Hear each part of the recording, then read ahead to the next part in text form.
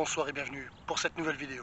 Et aujourd'hui j'ai décidé de me rendre dans un lieu un peu particulier car il est actuellement en rénovation. Oui, après quelques tempêtes ces dernières années je vais dire, parce que ça fait un petit moment qu'il est en rénovation, me voici donc au moulin de Valmy 1792.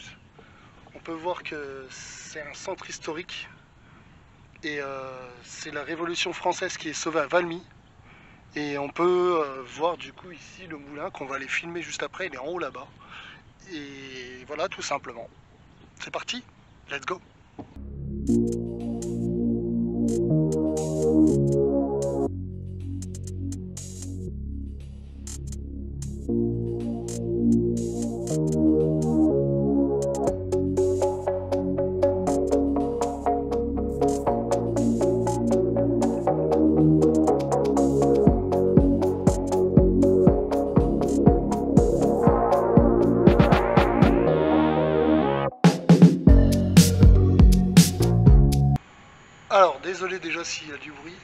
Ici, on peut commencer en arrivant par découvrir un petit magasin, un petit accueil euh, de souvenirs, etc.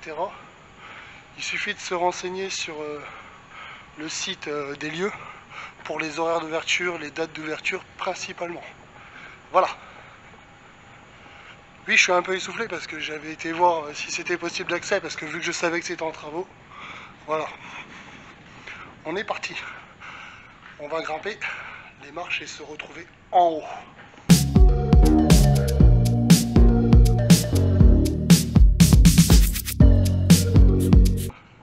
Alors il y a actuellement beaucoup de vent en haut, désolé si vous l'entendez fortement, je vais essayer de parler très fort.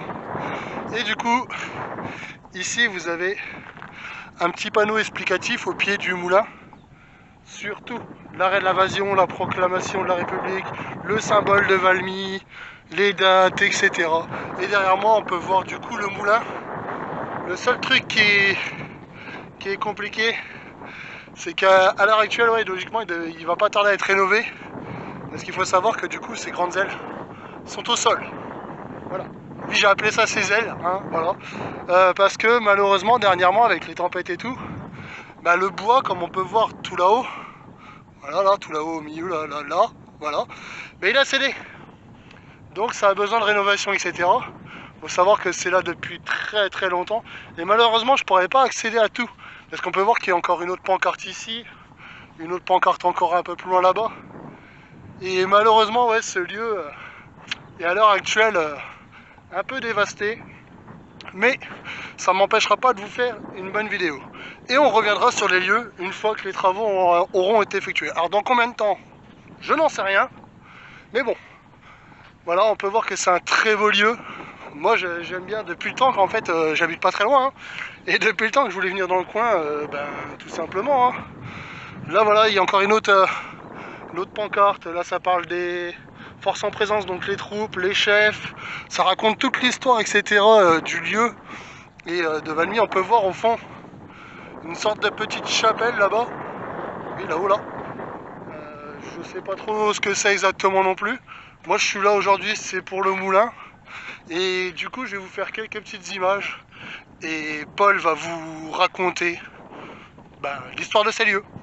C'est parti, let's go Le moulin de Valmy et se situe dans la Marne. Un moulin avant qui se trouvait sur le site en 1634 a été brûlé lors de la bataille de Valmy en 1792.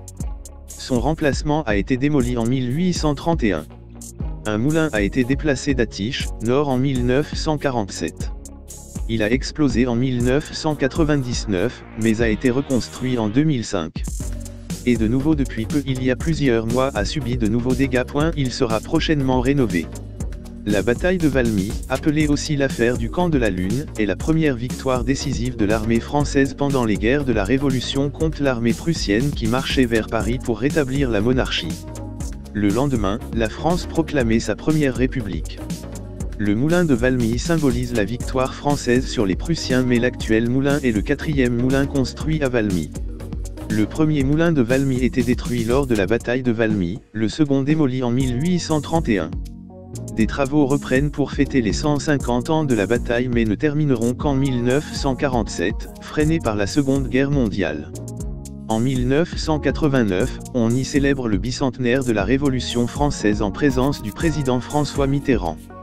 La tempête de 1999 a détruit le troisième moulin qui sera reconstruit en 2004 et inauguré en 2005 dans le style des moulins de champagne du XVIe siècle. Le mécanisme de ce nouveau moulin est complet et peut fabriquer de la farine.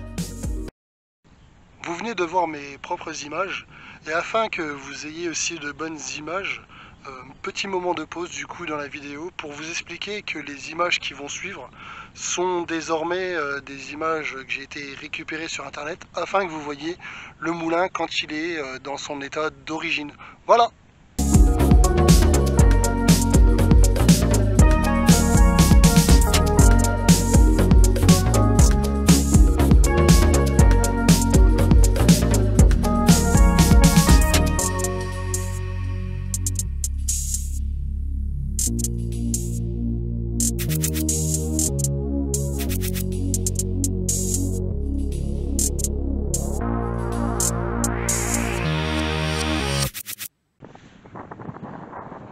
Alors le moulin de Valmy, c'est vrai qu'il est assez énorme. On peut voir tout en haut, il y avait des pigeons. Je ne sais pas si vous les avez vus sur les images.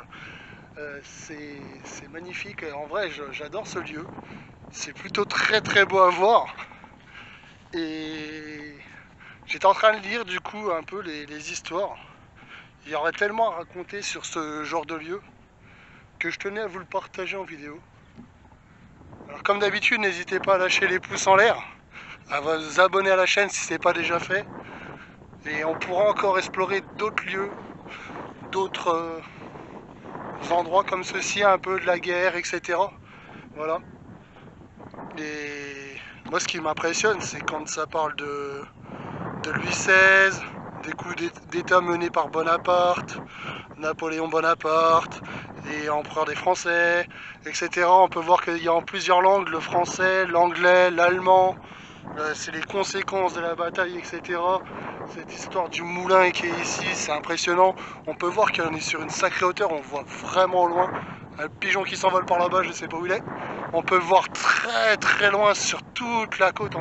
Si je tourne en rond, on peut voir vraiment loin. Au loin par là-bas, il y a l'autoroute, etc. On, voit vraiment, mais, mais vraiment loin.